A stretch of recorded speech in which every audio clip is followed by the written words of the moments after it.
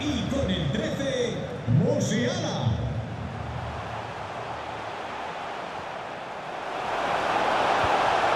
Kimmich. Oh, he looks threatening. And it's a double for him.